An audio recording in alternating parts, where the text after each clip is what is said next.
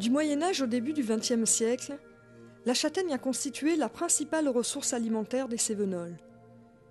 Quotidiennement, et ce jusqu'à une époque assez récente, le Cévenol a consommé ce fruit avec lequel il a aussi engraissé moutons et porcs.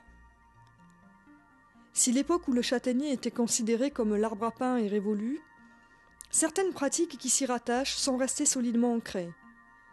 Il en est ainsi du châtaignon, châtaigne que l'on déshydrate pour mieux la conserver. Ça, le- de ramasser les châtaignes, ça, c'est de très longtemps et le- le- le- on sèche et puis on décortique les châtaignes et on fait le châtaignon avec ces châtaignes-là. C'est le que je ramasse et elle s'appelle des, des pérégrines. On appelle ça de la, pélégri- pélégrine. Et vous en avez d'autres, vous avez de la, de, de, de la mène d'abrique, vous avez de, de- de- je vous dis des, des- des dizaines, même plus, de qualités de châtaignes, pour ne pas vous en dire tout. C'est de la bonne châtaigne pour, pour sécher et pour, et pour les bétails. Bogues acérés, terrains abrupts, le ramassage à la main n'est pas toujours de tout repos. Là maintenant, il faut se ramasser avant que les feuilles tombent trop des châtaigniers. Pour une raison, c'est que euh, le sol est à peu près propre, on, on les voit sans trop gratter dans la feuille. Tandis que si quand la feuille est tombée, eh ben c'est pas. On en ramasse bien moins par jour. Là on a juste que les piquants pour l'instant à lever. Et ça va bien plus vite. Le matin avec la rosée, là vous en ramassez le double.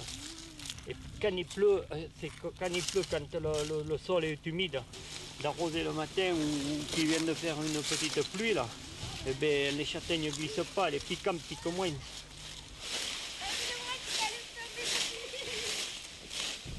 Le vin va arriver et toutes les feuilles vont partir.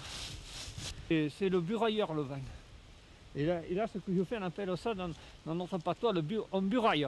On nettoie. Et le vin, on fait notre travail.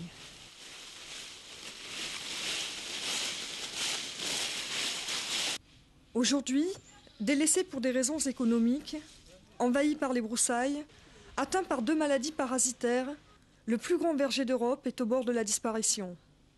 Je vais vous dire, il y a beaucoup de masses qui se sont vendues ici. Et beaucoup de châtaigneraies se sont abandonnées. Il en reste très peu, très peu de, de- de valables. Dans la commune, on n'est que deux à ramasser des châtaignes.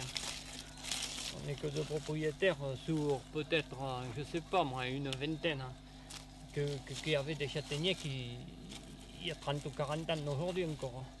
Oui, pour ramasser les châtaignes, hein, c'est. Ça vient dur. C'est plus rentable. hein.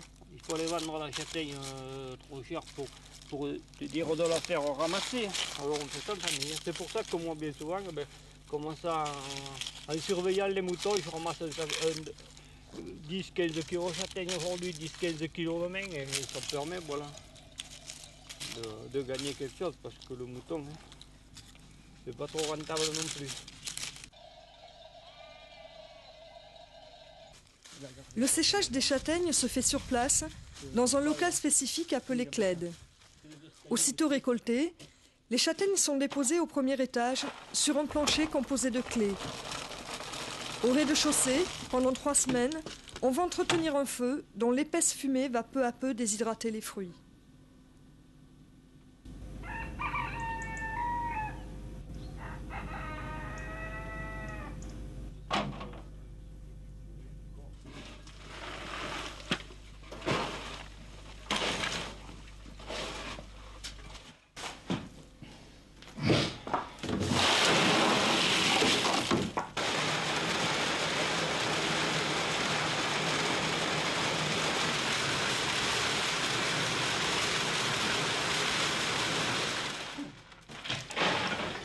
Là, on appelle le châtaignon une fois décortiqué.